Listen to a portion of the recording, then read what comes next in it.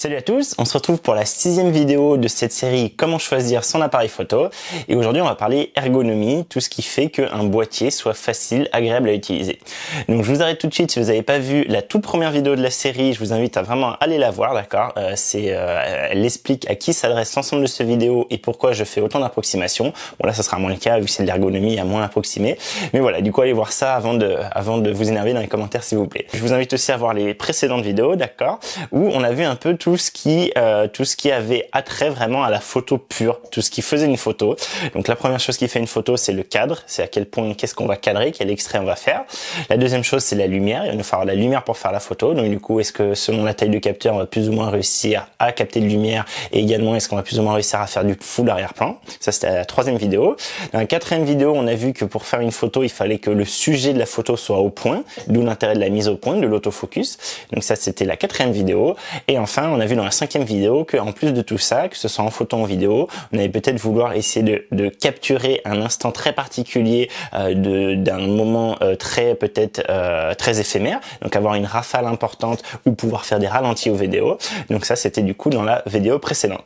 Et là donc on a fait un peu le tour hein, de tout ce qui fait vraiment une photo, une vidéo, et maintenant on va voir comment on peut améliorer son agrément de photo ou de vidéo, comment on va avoir plus ou moins de facilité à prendre cette photo, prendre cette vidéo, à manipuler son boîtier, à être à l'aise, à prendre du plaisir en fait à faire ça. Donc du coup, je pense la toute première chose à prendre en compte hein, au niveau de l'ergonomie générale, c'est qu'est-ce que vous allez vouloir vous transporter? Est-ce que vous allez vouloir quelque chose qui plutôt est très compact, typiquement un smartphone, et vous pouvez le glisser, il est tout le temps dans votre poche, vous êtes tout le temps sûr de l'avoir avec vous. Éventuellement quelque chose plutôt comme un compact expert, qui du coup est un peu plus gros mais peut toujours se glisser dans l'approche, ne prend pas beaucoup de place, toutes les plages focales, toutes les distances focales sont directement pouf dans euh, l'objectif qui est fixé au, boîtier. Est-ce que vous, vous êtes intéressé par ces différentes plages focales mais vous aimeriez bien avoir une prise en main un peu plus importante, un zoom un peu plus conséquent qui va un peu plus loin avec un téléobjectif? Là, un bridge sera très intéressant.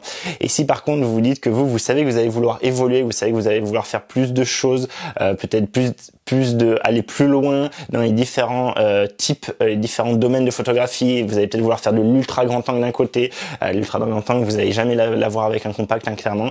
vous allez vouloir aller plus loin peut-être en téléobjectif, vous allez peut-être vouloir aller plus en basse luminosité, des choses comme ça. Là, du coup, vous allez passer éventuellement sur un réflexe ou moi je vous conseille plutôt un hybride.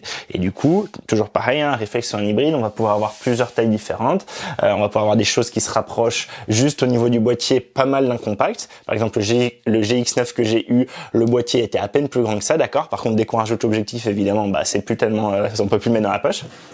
Et on peut aller sur des choses un peu plus grosses, hein, comme ici le euh, G90, où déjà vous voyez qu'on a vraiment une vraie poignée, une vraie prise en main, et euh, ça va être beaucoup plus agréable à tenir, beaucoup plus agréable à balancer, à, à, équilibrer quand on va avoir un gros objectif assez lourd. Lui, il est pas très gros, mais il est très lourd, euh, ou mon 100-400 là, euh, plus on va avoir une, un grip important, conséquent, un grip profond ici, vous voyez, hein, pour faire passer les doigts et du coup pouvoir venir bien la gripper, plus ça va être intéressant. Donc ça, je pense, c'est assez, c'est assez évident quand je le dis, euh, mais c'est vrai que peut-être si vous vous n'avez jamais eu de boîtier comme ça, vous voyez pas trop de quoi je parle et vous voyez pas trop l'intérêt d'avoir un truc qui soit spécialement plus euh, plus euh, avec une meilleure prise en main, un meilleur grip, une meilleure une meilleure ergonomie à ce niveau-là. Donc moi si c'est votre cas, ce que je vous conseille c'est d'aller en magasin, hein, d'aller d'aller en magasin et d'essayer de tester des boîtiers, d'essayer de voir en mettant un objectif dessus, hein, si vous pouvez. Alors c'est pas forcément ultra facile, mais des fois en Fnac on peut, des fois chez Darty on peut, des choses comme ça.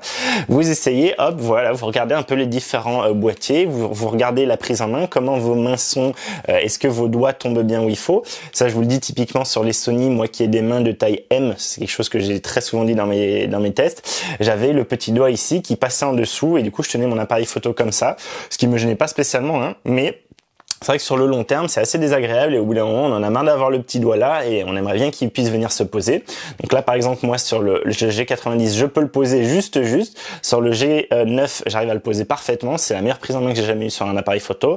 Et donc ça, ça peut vraiment avoir un son d'importance. Par exemple, quand vous le tenez, moi maintenant, euh, j'ai un système de clip. Là, je vous invite à aller voir ça. Hein. je vous mets la vidéo en fiche qui s'appelle euh, Peak Design Capture, qui permet de venir se cliquer sur le sac à dos directement sur une fixation qu'on met sur la lanière du sac à dos.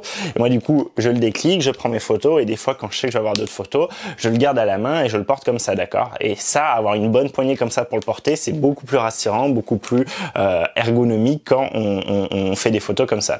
On va avoir également ici le, le repose-pouce, d'accord, qui, qui va être très important aussi pour venir justement gripper. Donc il y a pas mal de choses, mais ça malheureusement, à moins de les avoir en main, vous n'allez pas tellement pouvoir voir. Mais vous pouvez déjà vous dire, si vous par exemple vous êtes habitué au compact ou au smartphone, est-ce que vous n'êtes pas déjà dit, oh, euh, oh là là, la prise en main c'est pas terrible, ça glisse un peu. Là moi typiquement ici, vous voyez sur le, le RX100, j'ai rajouté une petite poignée, un, un truc qu'on vient scotcher pour avoir une meilleure prise en main. Donc voilà, ça, a vraiment son importance et ça je vous conseille d'essayer de tester en magasin spécialisé. Hein, c'est le mieux si vous avez un Digixo, Digiphoto, Miss numérique à porter, euh, Provence photo vidéo, etc., etc. Il y en a plein. Euh, sinon, euh, éventuellement dans les magasins un peu plus euh, grand public si vous y arrivez. Et après, il existe aussi des solutions pour louer du matériel. Donc n'hésitez pas, même maintenant des grands anciens, je crois, commencent à louer du matos. Peut être une bonne chose juste de louer une journée pour le prendre en main, un peu faire muse avec, voir comment vous aimez les menus, etc. On va y venir après. Mais voilà. Du coup, une des premières choses, je pense vraiment à prendre en compte, c'est à quel point vous allez vouloir qu'il soit transportable, à quel point vous allez vouloir qu'il soit compact, qu'il puisse être tout le temps avec vous ou non. D'accord? Donc c'est l'encombrement et regardez également évidemment le poids, euh, parce que même si le poids comme ça, ça a l'air de rien, en randonnée ça commence à être important.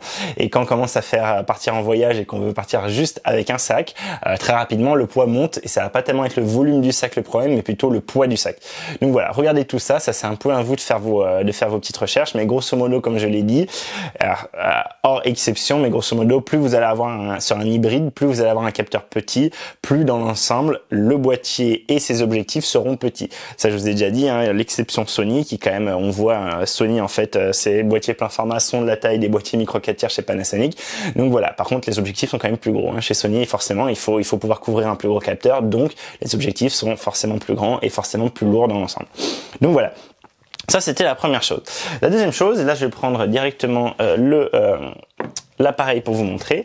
La deuxième chose, que ce soit ça, que ce soit un téléphone, que ce soit un compact, ça va être certainement l'interface euh, entre vous et euh, entre euh, l'interface qui va vous permettre de faire la photo. Donc l'interface qui va vous permettre de faire la photo, il n'y a pas il y a pas tellement photo justement, ça va être l'écran, d'accord? Donc sur un smartphone, c'est directement l'écran. Donc là, bon, c'est peut-être pas le critère principal, mais ça devrait l'être. Hein, souvent sur un smartphone, qu'est-ce que qu'est-ce que donne l'écran? Est-ce qu'on voit bien l'extérieur? Est-ce que les couleurs sont fidèles? Qu'il est net, etc., etc. Donc ça, voilà, pour un, un écran smartphone, c'est assez évident. Mais pour un écran euh, d'appareil photo, c'est un peu le cas aussi. Euh, plus on va avoir un écran résolu, plus on va voir facilement si la photo est bien nette, si le focus est bien fait où on veut. Euh, plus il va être lumineux, moins il va avoir de reflets. Malheureusement, tous ils ont des reflets, hein, c'est une catastrophe. Euh, plus il sera visible en extérieur et plus ce sera facile de composer en extérieur avec du soleil, des choses comme ça. Euh, donc voilà, c'est des choses à regarder, même si ça va pas forcément être un critère déterminant pour vous, surtout au début. Mais petit à petit, je pense si vous avez commencé à faire de la photo et que vous, avez pu remarquer, voilà, cet écran il m'embête, regardez de plus en plus, voilà, essayez, encore une fois, essayez de le voir en magasin ce que ça donne, essayez de regarder les différents écrans, les couleurs, les choses comme ça. Et euh, c'est quelque chose qui sera certainement de plus en plus important pour vous. Et l'autre chose qui sera d'autant plus important pour vous quand vous commencerez à vraiment pousser dans la photo, c'est euh, certainement que vous verrez que dans tous les cas, euh, l'écran c'est une catastrophe à regarder en extérieur. Et du coup, vous allez plutôt vouloir passer dans ce qu'on appelle le viseur électronique. Donc le ici, le VF, on appelle ça en anglais, c'est l'Electronical Viewfinder, où du coup, en fait, on a un petit écran au fond de ça. Euh, devant, c'est une espèce de petite loupe, si vous voulez.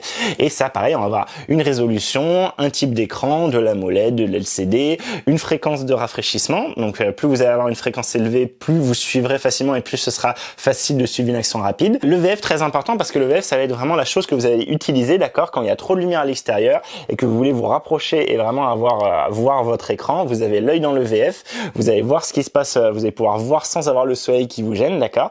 Et là, donc, il y a tout ce que je vous ai dit sur la qualité de l'écran, mais un autre truc qui est super important, c'est tout ce qui est le dégagement oculaire, la forme ici, la taille qu'il a, et aussi pour les porteurs de lunettes, savoir si oui ou non l'écran est suffisamment en fait éloigné pour que même avec les lunettes on arrive à le voir et qu'on n'ait pas besoin vous savez moi sur les Sony typiquement sur mon A7R3 par exemple je devais regarder euh, en haut en bas à gauche à droite pour voir les extrémités de mon cadre ce qui était pas du tout agréable. Si par contre j'enlevais mes lunettes je gagnais en distance et je voyais tout.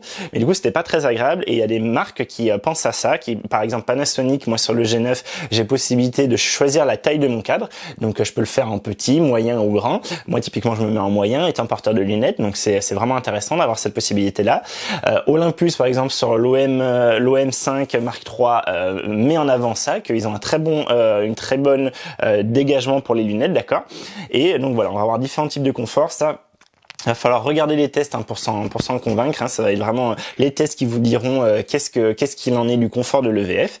Et là, je fais une petite précision sur ça. Euh, le, les hybrides étaient énormément critiqués au début par les propriétaires de réflexes parce que justement ici c'est un, écran qu'on regarde dans le dans le viewfinder, d'accord, alors que euh, que les réflexes, c'était directement l'image réelle. C'était vraiment ce qu'on appelle un OVF, Optical Viewfinder, c'est-à-dire un, un capteur optique, enfin c'était vraiment une, euh, un viseur optique où du coup on avait directement en fait ce que voyait le miroir qui reflétait euh, vers euh, vers nous. on avait donc la lumière qui rentrait dans le dans l'objectif, ça rebondissait sur le miroir, ça rebondissait sur un deuxième miroir et ça arrivait à l'œil. Donc du coup c'était vraiment directement l'image réelle qu'on voyait, donc du coup qu'on peut pas modifier au fur et à mesure, etc.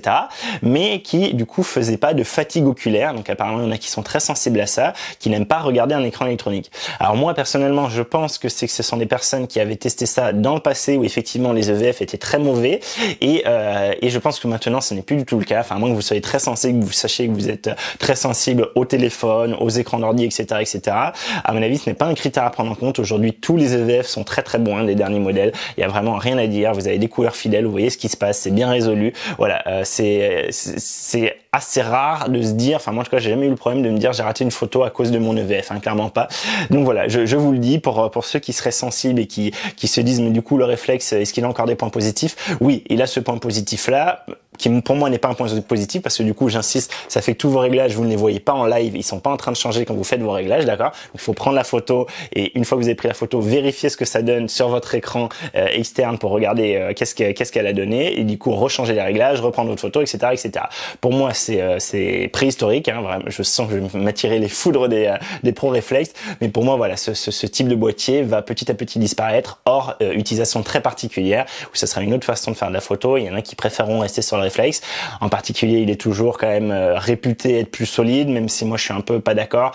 Oh, euh, du coup, bah, je vous en parle maintenant, hein, vu j'en parle tout de suite. Euh, le, je vous l'ai déjà dit, mais vous voyez, l'hybride a le capteur directement exposé, tandis que le réflexe va avoir un miroir devant. Et donc c'est vrai qu'en conditions très difficiles, quand on change souvent les objectifs, typiquement euh, dans le désert, quand il y a du vent, qu'il y a de la poussière qui vole, euh, le réflexe sera plus approprié. Mais il y a des constructeurs d'hybrides qui y pensent en mettant maintenant un petit truc qui va protéger le capteur quand on enlève l'objectif. Bref, à mon avis, Honnêtement, si vous commencez, partez sur l'hybride, ne partez pas sur le réflexe. Voilà, je le redis, je le redirai à la fin. Euh, je pense sincèrement qu'il n'y a pas de raison aujourd'hui d'acheter du réflexe si vous n'êtes pas habitué au réflexe. Voilà. Euh, donc voilà, donc ça c'était pour l'EVF. Euh, prenez bien en compte qu'un EVF, ça va être également vraiment votre interface dès que vous allez dehors, hein, pratiquement tout le temps, pour euh, pour voir ce qui se passe, pour être plus près de votre sujet. Et en plus, souvent, ça va stabiliser, d'accord, votre photo, votre vidéo. Vous avez un autre point d'appui, un troisième point d'appui, un point d'appui, deux points d'appui, troisième point d'appui, et du coup, l'EVF rien, va assez souvent servir. Moi, au début, je m'en servais pas du tout. Moi, j'avais acheté mon premier hybride, c'était un Samsung NX500, quand Samsung faisait encore des appareils photo, qui était un excellent appareil photo, soit dit en passant. Et pas de viseur, et ce n'est pas quelque chose qui me gênait, moi, à l'époque. Mais petit à petit, c'est vrai que c'est quelque chose qui, euh, surtout quand je suis passé à Sony, j'ai vu ce que ça pouvait être un bon viseur, et euh, vraiment, maintenant, c'est indispensable pour moi. Mais vous, si vous commencez, que vous venez du smartphone et que vous voyez pas forcément de quoi je parle et que vous vous dites ouais, je, je sais pas si vraiment ça va être un critère déterminant pour moi sur le compact, vous inquiétez pas, c'est pas déterminant et, et ne, ne, passez outre ce, cette suggestion. Je vous dis quand même qu'il existe, euh, il existe des solutions sur Compact Expert hein, euh, qui par exemple ici sur le Sony RX100 Là, j'ai la version 4, le Sony RX100 Mark IV. À partir de lui, justement, ils ont introduit ce petit truc qui est justement, vous voyez, un petit EVF qui se déplie, qui se dépop, d'accord, et qui du coup bah, permet, alors il est pas très confortable, il y a pas beaucoup de dégagement, et s'il y a du soleil, vous voyez, je verrai un peu le soleil sur le côté, mais il n'empêche que ça permet quand même de s'affranchir de l'écran, d'avoir quelque chose de plus euh, net et plus lumineux, avec moins de problèmes de reflets si on veut faire une photo comme ça. Donc sachez-le, voilà, ça existe. Euh, ça c'est quelque chose que je vous dirai à la toute fin dans le euh, dans mes conseils de boîtier, d'appareil photo à prendre en fonction de votre utilisation et de votre budget. Je vous redirai peut-être que ça vaut le coup de partir sur un compact expert qui a un EVF pour pouvoir faire des photos même en extérieur relativement facilement. Donc voilà, c'était cette petite précision sur l'EVF.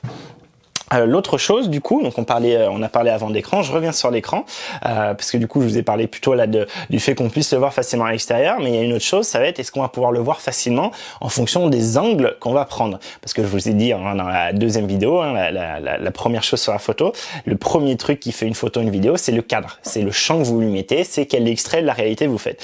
Et du coup, bah, vous voyez que si vous avez un écran juste à plat, dès que vous allez vouloir par exemple tendre les bras au-dessus d'une foule pour un événement ou au contraire aller très bas au ras sol pour, je sais pas, une fleur, un insecte ou euh, tout simplement votre chien, votre bébé, etc.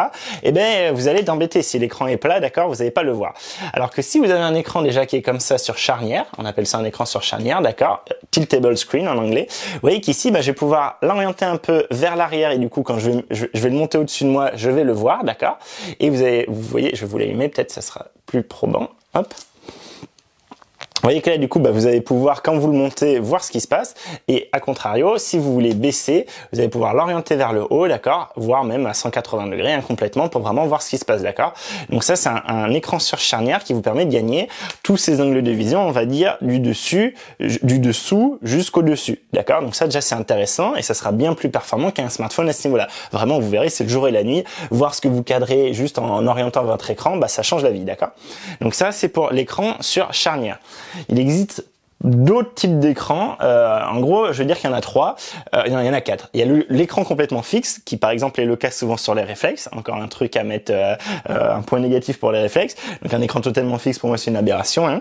Il y a les écrans comme ça sur charnière, qui pour moi sont trop limités, je trouve. Alors ça, je vais vous expliquer après après un peu le débat qu'il y a là-dessus. Il y en a, il y en a souvent qui préfèrent ce type d'écran là, parce qu'en fait, ils sont très faciles à dépoper, d'accord? Et il n'y a aucune manœuvre à faire. On est directement de plat à l'ouvrir et on sait que voilà, ça va être instantané. Moi, je fais partie de ceux qui préfèrent les écrans sur rotule. Les écrans sur rotule, c'est, vous voyez, là par exemple, ici, il est replié, complètement protégé et je vais pouvoir le sortir, le tourner et le mettre comme ça. Donc vous voyez, en général, il sera comme ça quand on fait des photos et c'est vrai que si on veut lui donner de l'angle, du coup, il va falloir l'ouvrir le tourner et choisir son angle. Soit du coup, ben, on veut aller vers le bas, on le met comme ça. Soit on veut aller vers le haut, on le met comme ça. Donc vous voyez que ça, c'est vrai que c'est une manipulation en plus qui moi me gêne pas vraiment, hein, honnêtement. En plus, moi, quelque chose qui est vraiment déterminant pour moi et vraiment c'est très net, c'est vu que je me filme beaucoup comme actuellement, du coup pouvoir passer l'écran frontalement et voir ce qu'on filme. Donc pour faire du, pour s'auto-filmer, vloguer, faire des selfies en photo, des choses comme ça, ça change la vie vraiment. Pour moi, ça change complètement la vie. Et en plus, ça je l'ai expliqué dans une autre vidéo. Je vous le mets pour le détailler. Hein, la vidéo du, du, raison, de la raison de mon choix du G9, mais il a le même écran que le, GX, que le G90 en gros. C'est que en plus de ça, de pouvoir se filmer soi-même, on a quand même la possibilité du coup d'avoir l'écran comme ça sur le côté qui va pouvoir du coup par exemple si vous êtes dans une voiture et que vous voulez cadrer, vous voulez filmer, bah, vous pouvez avancer comme ça. Moi je l'ai fait dans un mariage, me mettre comme ça avec le gimbal, avec le stabilisateur, vous savez avec toutes les petites euh, les petits rotors là, le stabilisateur électronique et j'avançais comme ça et du coup je pouvais regarder ce que je cadrais en avançant sans avoir besoin d'avancer en crabe en pas chassé.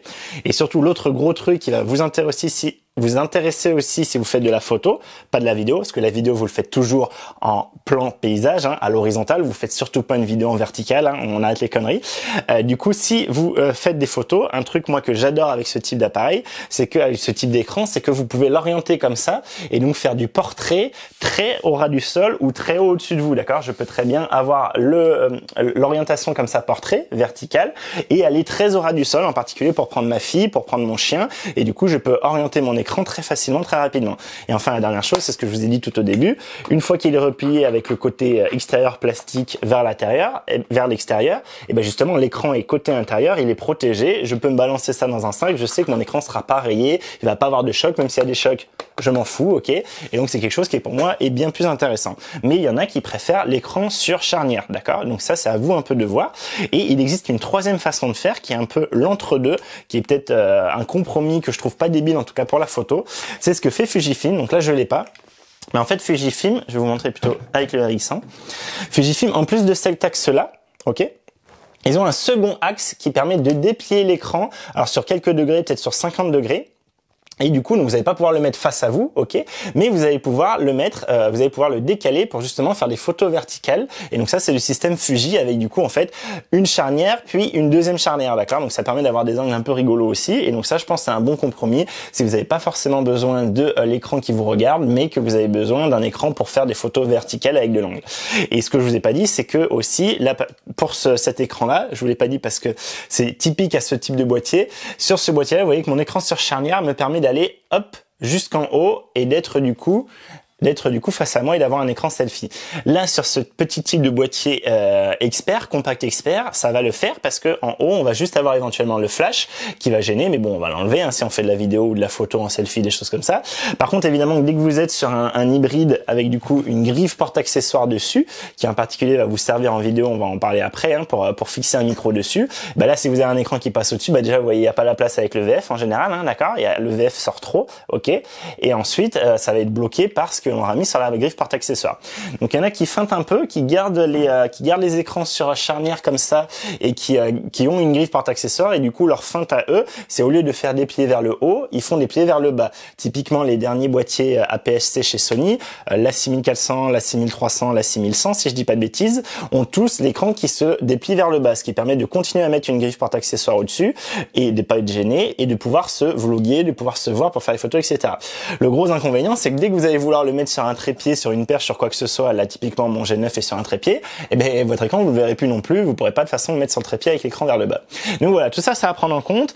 Pour moi, clairement, si vraiment votre but c'est de faire de la vidéo, euh, très très honnêtement et très clairement, euh, partez sur un écran sur rotule, hein, c'est vraiment le mieux. Il euh, n'y a pas photo, c'est à moins que vous ayez bien entendu l'idée d'avoir un écran externe, et là du coup ça change complètement la donne, d'accord? Mais si vous en êtes là, je pense que c'est que vous êtes déjà beaucoup plus évolué et que c'est pas quelque chose qui, voilà, cette série de vidéos n'est peut-être pas faite pour vous.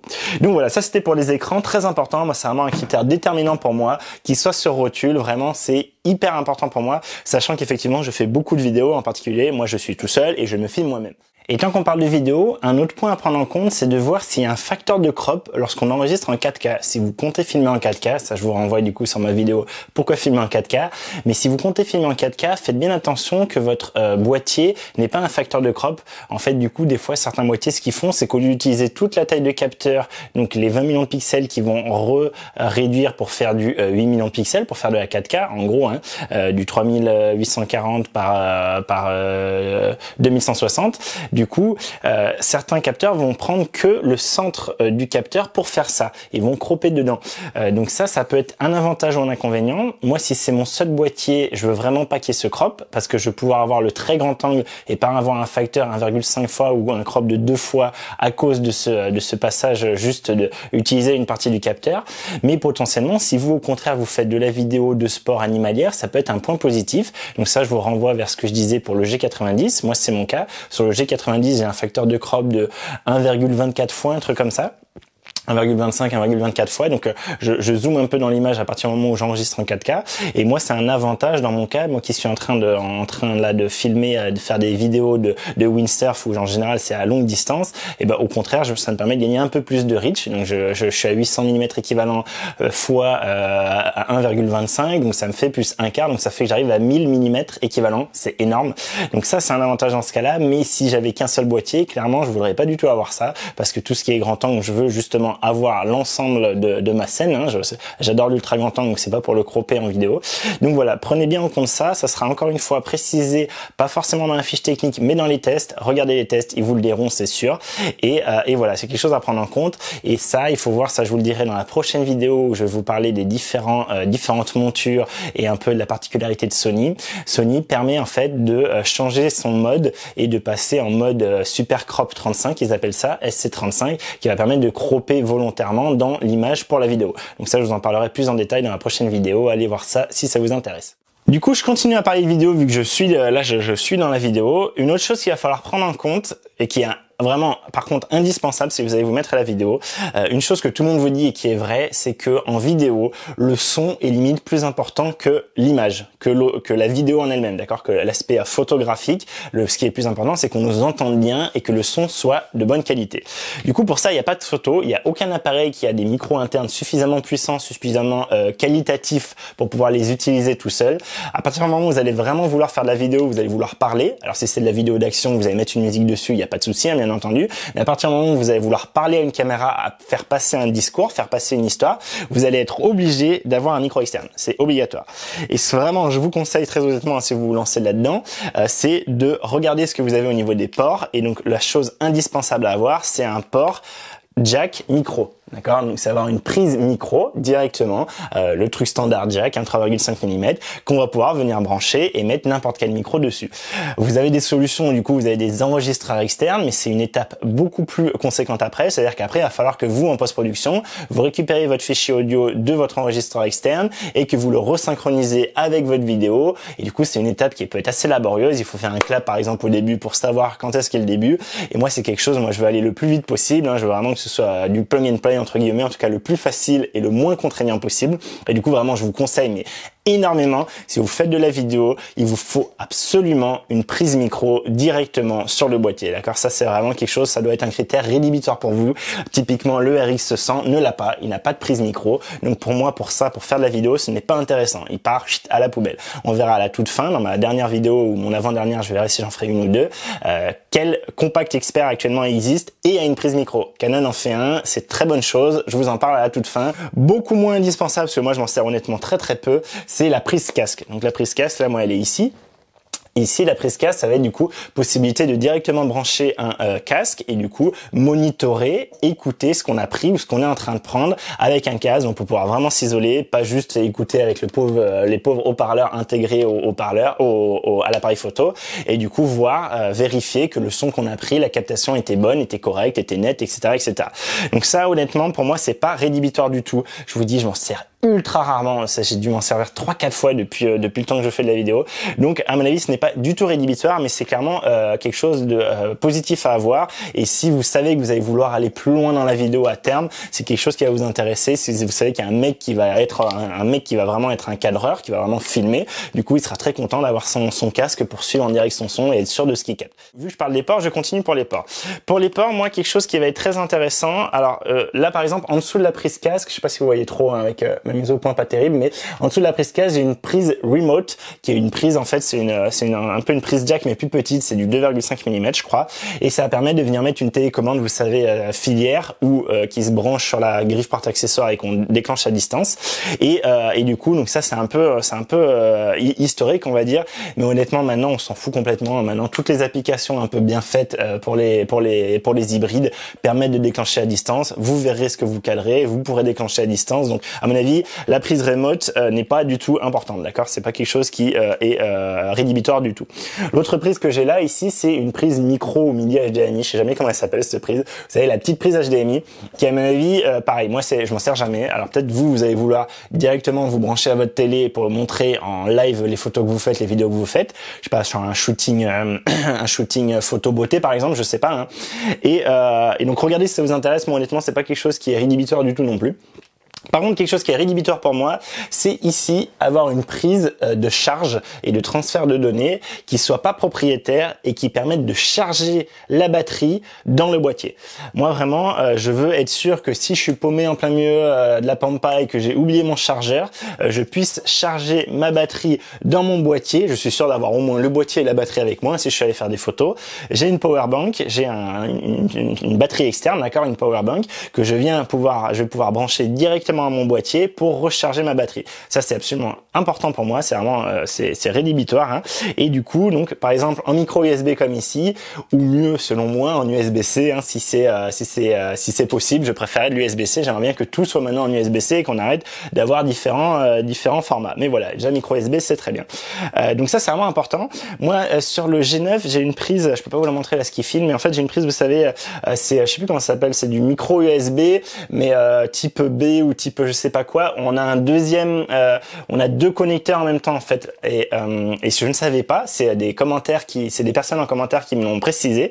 En fait, le petit trou est exactement une micro USB et on peut directement recharger avec un câble micro USB. On n'a pas avoir, on n'a pas nécessité d'avoir le câble en question comme sur les euh, disques durs externes pour venir le brancher. Et donc ça permet de recharger directement avec un micro USB. Je l'ai vérifié, ça marche très bien. Donc du coup sur le G9, au final, je suis très content. J'ai juste besoin d'un câble micro USB. J'ai pas besoin d'avoir un autre câble spécial juste pour mon G9. Donc ça c'est cool. Et, euh, et donc vraiment pour moi, je pense que c'est, enfin en tout cas pour moi qui voyage et qui euh, et qui aime pas avoir 15 euh, 000 trucs, 15 000 chargeurs qui prennent du volume, etc. Je suis, je voulais absolument, je veux absolument ça. C'est un critère sur mes appareils photo. Mais j'avoue que depuis que je suis passé chez Panasonic, je mets un peu d'eau dans mon vin, même si ça reste déterminant pour moi, mais Panasonic, euh, contrairement à d'autres, fournit euh, directement les chargeurs et surtout, contrairement à d'autres, fournit des chargeurs très compacts, très légers. Ça, ça doit peser, je sais pas, même pas 50 grammes, je pense. Et vous voyez que ce chargeur ici, en fait, il se branche directement, justement, en je sais pas si vous le voyez, mais je vous le dis, en micro USB. Et ça, c'est super intéressant parce que justement, euh, je vais pouvoir prendre ce chargeur qui est tout petit, tout léger. Je vais pouvoir le prendre dans mon sac. Je vais pouvoir le brancher à une powerbank si je veux. Moi, j'ai deux batteries. Sur tous mes boîtiers, j'ai deux batteries. Et je sais que du coup, je peux utiliser une batterie dans l'appareil et avoir l'autre batterie en train de charger dans le sac avec la powerbank. Donc ça, c'est une très bonne chose. Moi, sur mes deux Panasonic, c'est le cas. Sur le G9 et le G90, directement, je peux charger la batterie avec un petit chargeur comme ça, externe, portable, de voyage en fait. Parce que sur mes Sony, par exemple, sur euh, sur l'A7 III, il n'y a pas de chargeur externe vendu avec. C'est pas très sympa, Sony. Et euh, sur l'A7R3, il y a un chargeur externe vendu avec, qui est bien, mais qui est beaucoup plus grand et qui surtout ne se branche pas du tout en micro USB, mais avec, vous savez, les les pins standards avec deux euh, deux espèces de ronds. Et du coup, ça, bah, en voyage avec une powerbank, ça passe pas, d'accord? Alors que Panasonic, c'est le cas. Donc ça, ça peut être quelque chose d'intéressant aussi un peu à essayer de regarder. Ça, il va falloir également regarder les tests pour voir dans les unboxings, par exemple, qu'est-ce qu'il y a dedans, parce que vous n'allez pas l'avoir dans la fiche technique, d'accord? Donc voilà, pouvoir recharger l'appareil directement euh, avec une power bank et éventuellement avoir en plus un chargeur externe facile et qu'on peut brancher en micro USB ou en USB-C, c'est très très positif pour moi. Donc ça, c'était pour la recharge. Du coup, vu que je parle de recharge, c'est pas un port, mais euh, mais la batterie. De toute façon, on a fait le tour un des ports en général. L'autre chose que je peux vous dire, c'est par exemple, il y en a qui vont vouloir avoir euh, plutôt, moi sur mon G9 ou sur le GH5 par exemple, le, au lieu d'avoir une micro ou mini HDMI, on a directement un port HDMI standard. C'est quand même beaucoup plus facile à utiliser parce qu'en général, tout le monde a un câble HDMI chez soi et donc du coup, si on veut montrer les photos en direct ou montrer les vidéos, etc., on peut directement brancher le câble HDMI plein format sur le boîtier et pas avoir avoir un dongle ou un adaptateur, etc., etc. Donc voilà, je vous le dis, moi je m'en sers honnêtement pas du tout. Donc voilà. Après, il va y avoir d'autres choses, il y avoir des, des prises synchronisation flash, il va y avoir des prises réseau du RJ45 par exemple. Mais si vous en êtes là, c'est que vous êtes un expert et que vous n'avez pas besoin de ces vidéos, très clairement. Donc du coup, on parlait de la recharge et je vais vous parler juste un peu batterie hein, très rapidement. Un autre point au niveau ergonomie, ça va être évidemment l'autonomie. L'autonomie euh, va être importante. Alors moi je dis c'est pas forcément ultra grave justement, surtout quand on a comme ça un chargeur externe euh, qu'on va pouvoir du coup faire tourner en fond. Il n'y a pas trop de soucis. Donc pour moi c'est pas forcément rédhibitoire rédhibitoire, mais je veux pas avoir à changer ma batterie non plus euh, au cours d'une même séquence. C'est-à-dire que peut-être si je fais deux heures, vous voyez, de, de, vidéo d'un coup, je veux pas avoir, enfin deux heures de photo vidéo d'un coup, je veux pas avoir à changer ma batterie directement vais avoir quelque chose qui va quand même un peu me durer et pas avoir à couper une séance, une séquence, une phase de ma journée pour changer la batterie. Entre deux phases de journée, il n'y a pas de souci, mais j'ai pas envie que ça m'embête sur une phase de ma journée. Donc moi, clairement, là, tous les boîtiers que j'ai et que la 7 et la 7R3, c'était le cas aussi, ils avaient de, très bonnes batteries. Là, c'est peut-être lui qui a la moins bonne batterie, la moins bonne autonomie. Euh, le G9, c'est très correct, c'est comme la 7.3 à peu près, la 7R3 à peu près. Euh, donc voilà, l'autonomie, il faut regarder, enfin, renseignez-vous un peu, euh, sachant qu'il existe une norme, ça je vous le dis pour vous, vous, vous, vous mettre au courant, fait, c'est une norme euh, pour la photo qui s'appelle la norme CIPA, C-I-P-A de mémoire, qui en fait du coup teste dans les mêmes conditions euh, comment, combien de photos on va pouvoir faire sur une batterie. Donc on va vous dire, bah voilà, ce, ce, ce boîtier a une, une, une, autonomie de 350 photos par batterie CIPA. Voilà, ça c'est la norme. Donc ça vous permet de comparer à peu près de boîtier à boîtier. Mais ce qui ressort dans l'ensemble, c'est que ça vous donne une bonne idée générale, mais que souvent dans les tests, vous verrez euh, les utilisateurs réels. Ça va beaucoup dépendre de votre type de photo, de comment vous photographiez, si vous laissez l'écran allumé ou pas, si vous utilisez beaucoup le VF ou pas, parce que le VF en général consomme plus que l'écran, c'est à savoir, c'est rigolo mais c'est comme ça. Euh, si, euh, si en général ils sont mieux résolus, ils ont de meilleures fréquences, voilà. Euh, donc voilà, selon votre utilisation, si vous faites beaucoup de vidéos ou pas, etc., etc., vous allez avoir plus ou moins d'autonomie. Et donc souvent, c'est intéressant quand même d'écouter les tests. Et les tests vont vous dire, bah écoutez, moi ils annonçaient 350 photos euh, par batterie, j'en ai fait 750. Donc vous voyez, du coup souvent entre ce qui est donné en norme SIPA et l'utilisation réelle d'une personne donnée dans des conditions données va être différente. Donc en particulier, euh, évidemment, si vous êtes dans le froid, l'autonomie baisse. voilà, toutes les choses habituelles pour les batteries sont vraies pour les batteries de d'hybride, de réflexe, de tout ce que vous voulez. Euh, donc voilà, ça, c'est intéressant. Et également, ça c'est si vous êtes déjà plus avancé, euh, pensez à euh, peut-être essayer, euh, si vous avez déjà un premier boîtier et que vous cherchez un deuxième boîtier, à peut-être avoir les mêmes batteries. Par exemple chez Sony, hein, si vous avez si vous avez un, déjà un A7 III et que vous voulez un second boîtier plus petit, peut-être vous avez pensé au boîtier APS-C de chez Sony. Ça, on va en parler à la fin également hein, de, de, dans ma prochaine vidéo. On va en parler de la particularité Sony sur APS-C plein format qui partage la même monture on verra ça après euh, dans l'autre vidéo. Et du coup vous vous dites bah voilà j'ai peut-être envie tout simplement de prendre un APS-C qui sera mon boîtier un peu de secours euh, qui me permettra de gagner en reach comme on a pu le voir dans la, la vidéo numéro 3 et, euh, et, vous vous dites bon bah voilà je pars là-dessus. Et là peut-être vous avez intérêt à plutôt prendre le plus haut de gamme en APS-C pour avoir la même batterie que sur vos A7 III donc la batterie FZ100 là.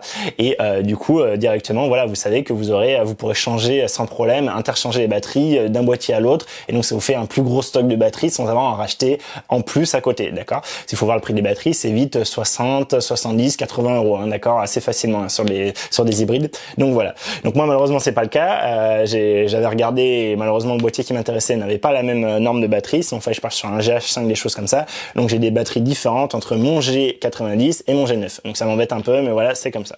L'autre chose, je parlais de batterie, et si je vous montre la batterie du, du compact ici, hein, par exemple, hop, vous voyez qu'ici, j'ai à la fois ma petite batterie je vais mettre à côté de moi pour le voir mieux. J'ai à la fois ma petite batterie, mais surtout j'ai ici également ma carte SD. Donc ça c'est souvent le cas sur les petits boîtiers comme ça, d'accord, sur les petits compacts, des choses comme ça. Euh, sur les bridges, maintenant ils essaient en tout cas sur les bridges, j'espère normalement la, la, carte est déportée. Et ça c'est un peu un inconvénient si vous faites beaucoup de photos ou de vidéos sur trépied. C'est que du coup vous voyez moi avec mon ici mon, mon ma vis pour le fixer sur trépied ici, ma, ma mon, mon, écrou femelle hein, du coup ici. Vous voyez que là je pourrais pas euh, changer ma carte SD et ma batterie en cours de euh, de quand je vais avoir mon appareil directement sur mon trépied, sur mon gimbal, sur ce que je veux. Donc ça, ça peut être un critère, hein, euh, en particulier avoir la carte SD qui peut être sortie sur le côté. Donc là, par exemple, je vous montre, hein, c'est le cas ici et sur tous les sur les hybrides à peu près, hein, tous les réflexes. Vous avez directement la carte SD sur le côté, ce qui fait que même si le boîtier est fixé, il n'y a pas de souci, vous pouvez sortir la carte SD et la changer en cours de route si vous avez des petites cartes SD et que vous voulez changer fréquemment. L'autre chose, c'est vous voyez ici sur les Panasonic, ils ont bien pensé le truc et ils ont un peu décalé ma vis ici où j'ai mis ma plaque pour faire que justement le, la porte de batterie soit décalée des accès, ce qui fait que même moi mon G9 c'est pareil, même quand il est fixé sur un trépied, je peux quand même ici venir ouvrir ma porte de batterie, d'accord, et venir changer ma batterie en cours de route euh, sans avoir à retirer l'appareil photo du trépied, de euh, ma gimbal, de ce que je veux. Donc ça, ça peut être vraiment également quelque chose de, euh, de qu'au début on s'en rend pas trop compte, mais qu'à l'usage, à l'utilisation, on se rend compte que devoir retirer le boîtier pour juste changer une batterie ou une carte SD, c'est euh, c'est assez pénible. Ça fait une interruption, ça peut faire rater quelque chose, une action, quelque chose. Et du coup, voilà, c'est encore des petits détails comme ça ergonomiques. Hein. Là, on va vraiment plus en plus rentrer dans les détails ergonomiques. Mais voilà, pensez-y. Si vous savez que vous allez beaucoup sur trépied, beaucoup sur gimbal, beaucoup sur des choses fixes, le fait d'avoir une carte SD déportée et euh, une batterie qui peut s'ouvrir quand même, qui peut se changer quand même, ça va être très positif. Donc voilà, ça, je vous le dis aussi. Et oui, petite précision sur les cartes SD. Hein. Euh, on a parlé dans une vidéo précédente du double slot sur la, la vidéo bah, précédente justement sur la Rafale. Euh, vous voyez que ici, donc moi j'en ai qu'un sur le, le G90, j'en ai deux sur le G9. Ça, ça va pouvoir être particulièrement intéressant euh, pour ceux qui vont commencer peut-être à être plus pro, qui veulent peut-être se lancer, je sais pas, dans une photo de mariage ou dans une photo événementielle, des choses comme ça, où vous allez vouloir être sûr d'avoir dans tous les cas, même si votre carte SD vous lâche, ça arrive. C'est des choses qui peuvent arriver. Tony Nurse sur un test d'un Sony justement l'avait eu euh, sur le test du Nikon euh, justement du Z6 euh, j'ai fait le montage d'une vidéo précédente où je parlais du Z6 en fait il a qu'un seul slot et lui justement pendant le test je crois que c'était à Hawaï il a eu sa carte SD qui a bugué et du coup il a perdu toutes ses photos vu qu'il avait qu'une seule carte SD et donc il, il, remettait l'accent sur le fait attention dès que vraiment c'est quelque chose qui est peut-être votre métier ou quelque chose qui est vraiment super important pour vous vous voulez pas avoir vos souvenirs qui soient perdus deux slots ça permet d'être sûr et du coup vous allez pouvoir bah, baquer vos photos. Donc soit vous faites que l'ensemble de tout ce que vous faites est à la fois enregistré sur les deux cartes, soit vous pouvez dire par exemple, moi c'est ce que je fais, je vous l'ai déjà dit, j'ai une carte qui sert à enregistrer les JPEG et la vidéo et l'autre carte qui sert à enregistrer les RAW. Comme ça je sais que dans tous les cas, si j'ai une carte qui, qui chante, eh ben je vais avoir euh, la photo dans un des deux cas et je préfère pour tout ce qui est souvenirs de vacances, de voyage, etc. d'avoir les souvenirs photos. Au pire si j'ai pas la vidéo, ben tant pis, j'aurai pas ma vidéo euh, pour faire la vidéo de souvenirs ou faire ma vidéo YouTube, mais je sais que j'aurai au moins les photos, ce qui est pour moi le plus important. Donc voilà, pour vous dire, ce double slot peut vraiment être important. Sachant que moi, de mon expérience personnelle, je n'ai depuis 5 ans maintenant, voire un peu plus, ouais plus que ça même euh, ouais 5 6 ans peut-être peut-être un peu plus je sais pas exactement où je me suis vraiment intéressé à la photo un peu plus poussée etc euh, j'ai jamais grillé une seule carte SD j'ai jamais eu une carte SD qui m'a qui m'est tombée en rade et pourtant j'utilise plus ou moins encore les mêmes cartes SD du début hein, à peu près, parce que du coup c'était des capacités un peu plus petites. Mais voilà, pour vous dire, sur les grosses marques bien réputées, euh, moi, j'ai jamais eu de souci, mais je touche du bois. Hein, peut-être ça va être euh, juste après ça. Je vais vous dire ça et ma carte qui enregistre les vidéos va bugger. Mais en tout cas, moi, j'ai jamais eu de souci à ce niveau-là. Mais voilà, ça peut être un critère. Et comme je vous disais précédemment dans la rafale, ça peut être aussi un critère pour diviser. Est-ce que vous voulez votre rafale d'un côté ou pas, etc., etc. Donc voilà, regardez euh, les slots, en quelle vitesse évidemment de transfert ils sont. Ça, je vous l'ai dit dans la vidéo sur la rafale. Allez voir ça si vous n'avez pas vu. Et après, deux slots, ça permet d'avoir du backup, ça permet d'être sûr de ramener quelque chose à la maison. Et si vous vous êtes un pro, c'est ultra important que à la fin de la journée de mariage, vous ayez des photos à rendre au client et pas que la carte soit morte et que ce soit foutu. Après, il va y avoir tout ce qui est disposition des boutons. Mais alors ça, vraiment, il va falloir regarder les tests, euh, peut-être vous les prendre en main en magasin, peut-être vous faire vos tests euh, si vous pouvez louer du matos. Moi, je vous conseille vraiment, si vous avez moyen près de chez vous de louer facilement du matos, louez-le, faites-vous une idée, différentes marques, différents capteurs, faites vos tests, ça vous donnera une très bonne idée, ça vous permettra de vous familiariser, etc.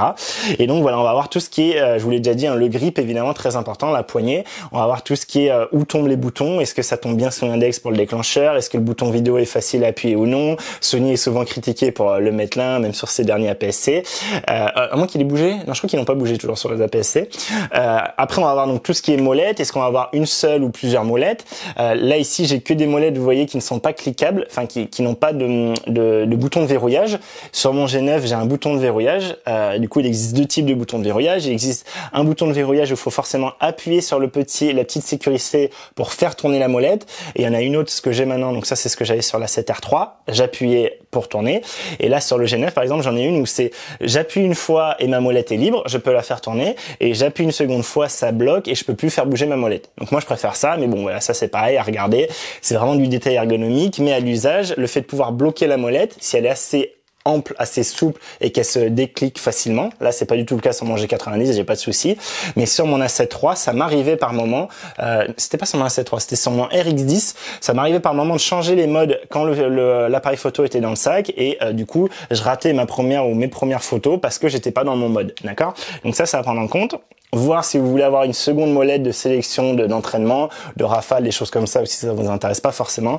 Donc voilà, ça, ça va être un peu différentes façons de mettre les molettes euh, les, euh, les molettes de sélection de mode, mais également tout ce qui est molette de euh, d'ouverture, de, de, de, temps de pause, de d'ISO, des choses comme ça. il va y avoir des, des, molettes plus ou moins agréables, plus ou moins résistantes, plus ou moins crantées. Voilà, donc ça c'est des choses plus ou moins bien placées. Est-ce qu'elle va être bien, elle va bien tomber sous le pouce, est-ce qu'elle va bien tomber sous l'index? Voilà, donc ça c'est un peu malheureusement c'est plus pour les gens qui déjà s'y connaissent un peu, qui ont déjà peut-être eu des boîtiers. C'est vous avez petit à petit, fort, au fur et à mesure vous allez faire de la photo savoir qu'est-ce qui vous plaît le plus, la, la, la, disposition qui vous plaît le plus, les boutons que vous aimez bien avoir facilement à main. Moi, par exemple, je sais que moi qui fais beaucoup de vidéos et que maintenant j'essaye vraiment de faire gaffe à ça, j'aime beaucoup avoir le white balance WB white balance balance des blancs directement au bouton. Ça me force à du coup y penser en vidéo, à fixer ma balance des blancs sur un blanc qui a derrière moi là pour pas avoir ma balance des blancs qui change en cours de vidéo, d'accord? Euh, Du coup, il y a des petites choses comme ça qui peuvent être intéressantes. Euh, après, il va y avoir tout ce qui est euh, tout ce qui est également à l'arrière. Donc là, ici la molette. Euh, est-ce qu'on va avoir une molette ou juste quatre boutons? Donc la molette, ça permet d'avoir une troisième molette. Hein, souvent, c'est bien intéressant. Moi, je trouve, par exemple, pour mettre les ISO dessus. Hein, donc pour mettre autre chose, c'est comme vous voulez. et aussi une chose que vous voyez, j'ai pas sur celui-là, mais que j'ai sur le G9. Et je vous invite à aller voir les tests du G9. Hein, J'explique tout ça. C'est un joystick. Et le joystick, c'est vrai que c'est très agréable. C'est pareil si vous êtes déjà un peu plus avancé hein, dans la photo. Mais pour venir remettre facilement son point, son collimateur très précisément, le joystick va être bien plus rapide que le euh, que le euh, que le pavé là, que la roue euh, que la roue qui fait également les flèches. Et du coup, ça va être bien plus agréable. Et c'est vrai que moi le joystick, j'aime beaucoup l'avoir en particulier en photo. Dès que je veux prendre une photo d'un insecte, peut-être d'un désherbe où c'est un peu délicat, je fais mon point au tactile et après je le recorrige avec le joystick. Et justement, je viens d'en parler.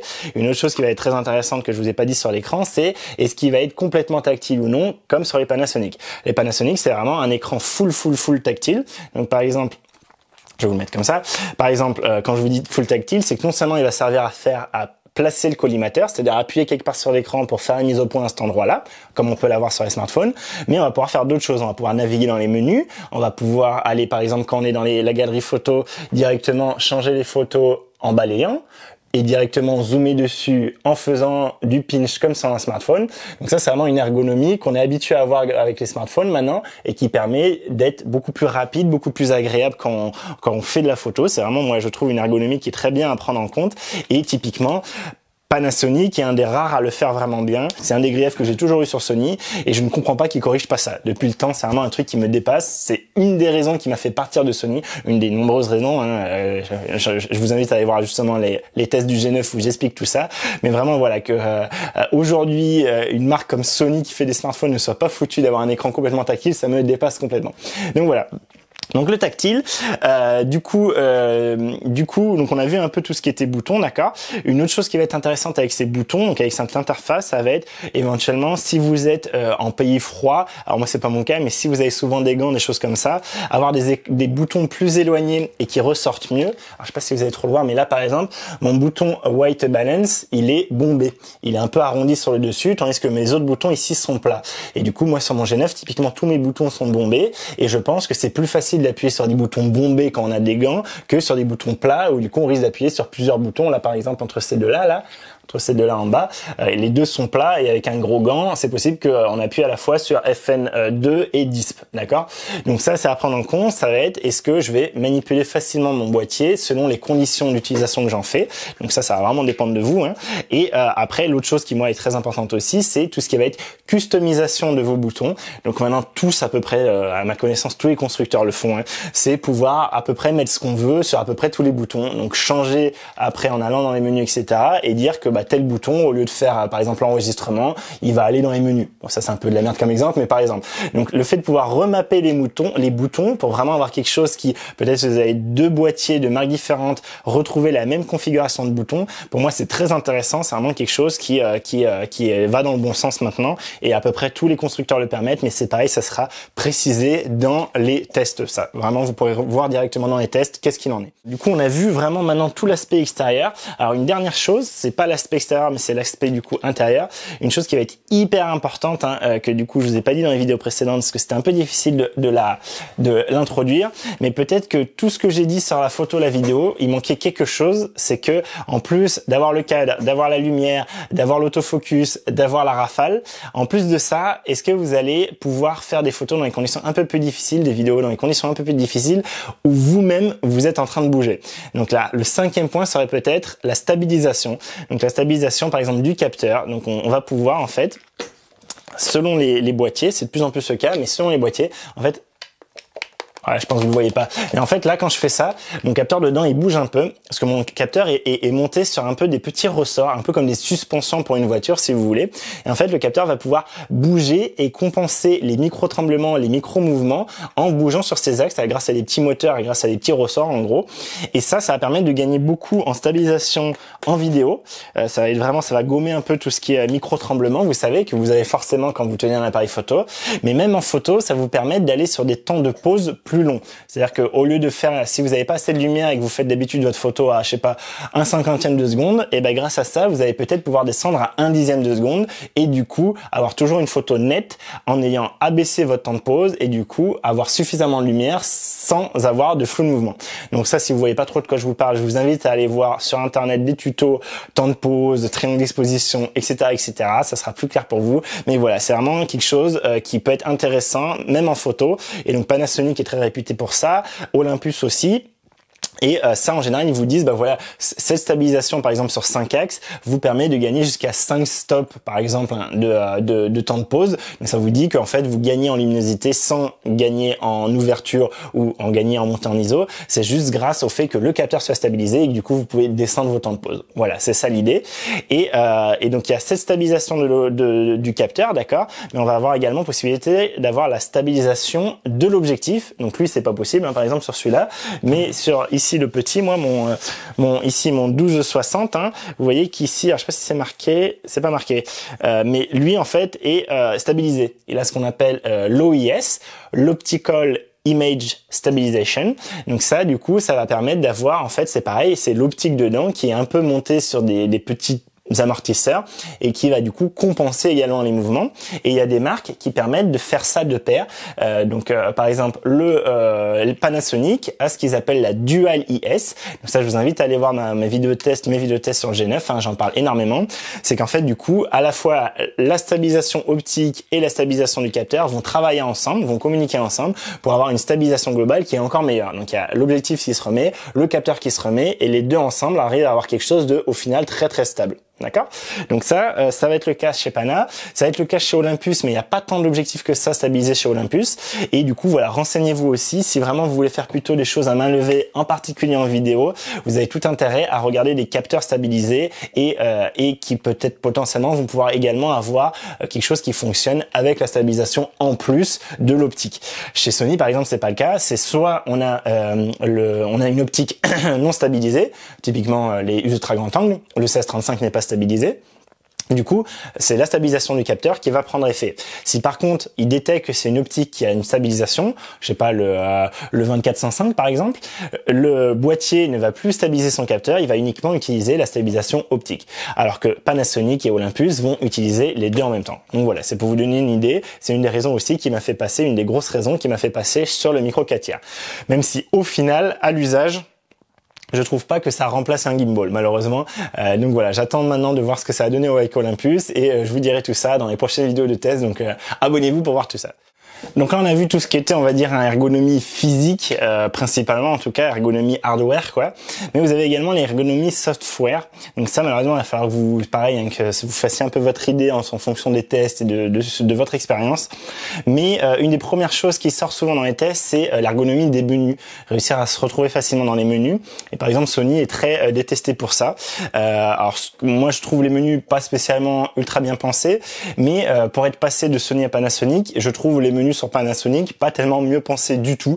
Euh, et je pense que vraiment au final c'est une question d'habitude. Si ça fait 15 ans que vous êtes sur Canon, bah, vous êtes habitué au menu Canon.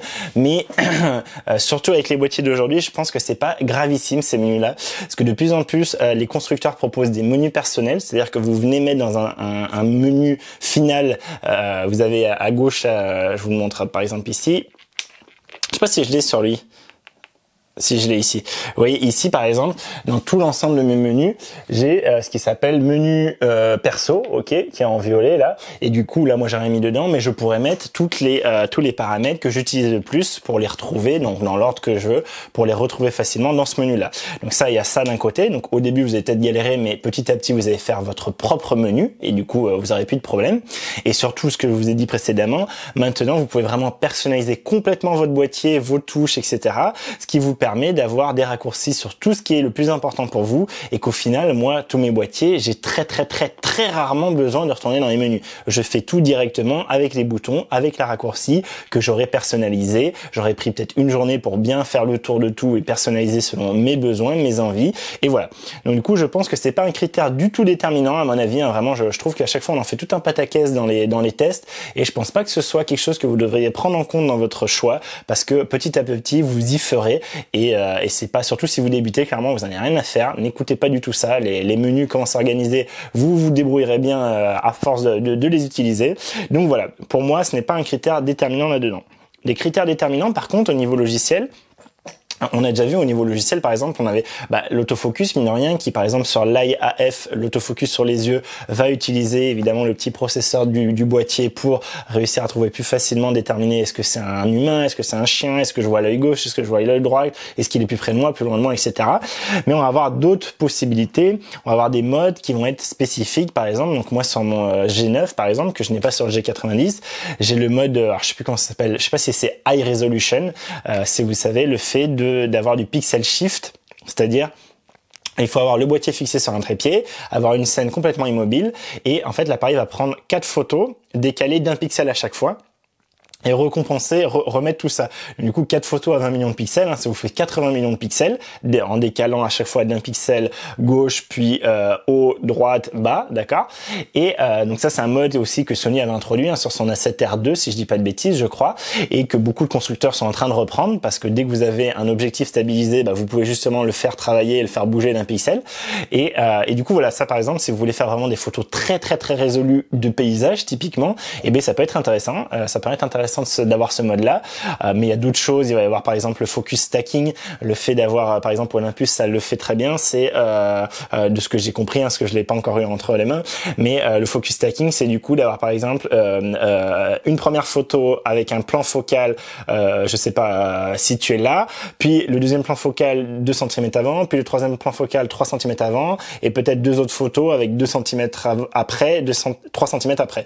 Donc c'est pour vous dire, du coup, par exemple sur la photo de macro, vous allez pouvoir faire différents plans focaux grâce juste à un automatisme où lui va changer le focus petit à petit et lui-même va recompenser, recomposer toutes ces photos en une seule photo. Vous allez avoir une photo avec non seulement votre sujet, votre insecte net, mais également euh, le euh, euh, le l'ensemble du décor qui est un peu devant et après et un peu après derrière lui, d'accord? Donc c'est ça, c'est des choses qui vont pouvoir vous faciliter la vie.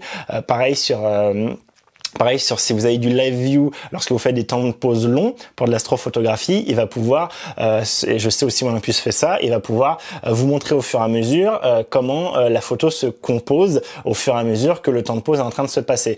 Panasonic aussi le permet aussi. Vous avez une espèce de mode de vue où du coup vous voyez, au bout d'un moment, il vous montre ce que ça va donner à peu près votre image avec ce temps de pause de 20 secondes, 30 secondes, etc. Donc ça, c'est des petites choses malheureusement que vous n'allez pas forcément avoir tout de suite en tête si vous êtes débutant je pense que c'est des choses qui viendront après, où vous allez vraiment vous dire, ah, j'aimerais bien pouvoir faire ça euh, directement dans le boîtier et pas avoir à le faire en post-traitement. C'est typiquement le focus stacking, ça se fait en post-traitement. Moi, c'est pas quelque chose que je fais du tout, mais vous pouvez très bien, quand vous êtes, euh, vous tâtez un peu euh, dans Lightroom ou dans d'autres logiciels, vous pouvez le faire. Mais vrai du coup, voilà, il faut avoir un logiciel de montage derrière, un, logiciel de retouche photo qui commence un peu à, à, faire des choses bien. Il faut du coup se pencher sur ce logiciel, être performance logicielle, etc.